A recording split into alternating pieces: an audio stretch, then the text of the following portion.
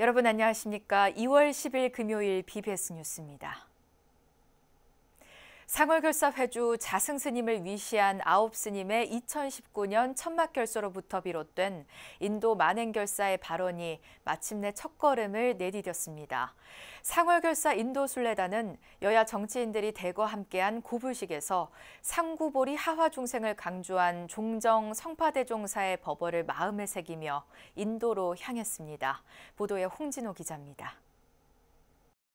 새벽 6시에 한국불교 1번지 조계사, 조계종 종정 성파 대종사와 상월결사 회주 자승스님, 총무원장 진우스님 등이 3기위와 반야신경으로 인도순례 시작을 부처님에게 고했습니다.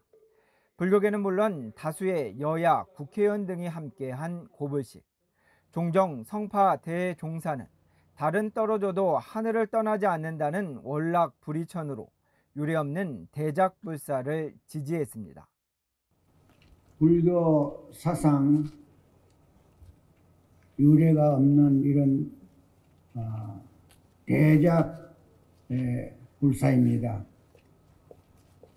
이번에 어, 인도 성지 순례는 일반적인 순례하고 달리 우리 불자들의 본본인 상구보리 하와 중생을 그대로 실현하는 것입니다. 순례단은 부처님이 걸으셨던 그 길 위에서 자고 먹으며 인류학과 소통의 화두로 불교중을 위해 매진하겠다고 다짐했습니다. 인류와 사회가 합하고 소통하는 해답을 저희의 다짐과 신행에서 찾아내고 지금 사는 세상이 평화로운 정토로 밝아지도록 정진할 것입니다. 한국 불교의 중흥과 전법普교를 위해 몸과 입과 마음을 청정하게 하고 고통의 바다에서 헤매고 있는 중생의 곁으로 순례의 길을 떠나고자 합니다. 총무장 진우 스님은 종단 주체로 한인도 수교 50주년에 거행되는 이번 순례가 새로운 붓다로드로 이어지기를 발언했습니다. 나아가 전 세계인들이 여러분이 개척한 경로를 따라 순례를 발언하는 새로운 붓다로드로 자리 잡기를 발언합니다. 자승 스님은 고불식 전 치안 문제 등 순례를 도와준 모든 이들에게 감사를 표하며 원만 회양을 기원했는데 이는 2019년 무문관 정진 당시 밤새워 결제 대중의 안전을 기도했던 그때를 떠올리게 합니다. 그래서 이게 터져도 나, 나 있는 쪽을 쳐야 되는데 이런 생각을 했다. 다른 사람들 다치면 내가 아유. 책임이 커가지고 이게 터져도 나 있는 쪽을 쳐라. 내가 그냥 마음으로 그런 기도까지 했어. 얼마나 비가 무섭게 오든지.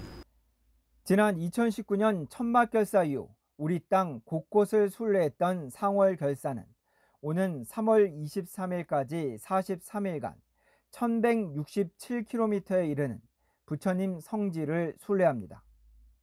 부처님을 닮아서 오시는 걸 떠나서 부처가 돼서 오시기를 간곡합니다. 여야가 3월 달에 꼭 가서 인도에서 함께 있겠다는 약속 상월결사 인도순례 입제식은 내일 오전 9시 30분 인도 녹야원 현지에서 열리며 BBS 불교 방송의 TV와 라디오 유튜브로 동시에 생중계될 예정입니다.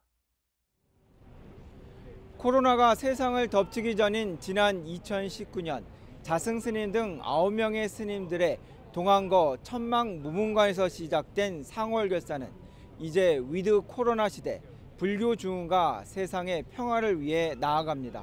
조계사에서 BBS 뉴스 홍진호입니다.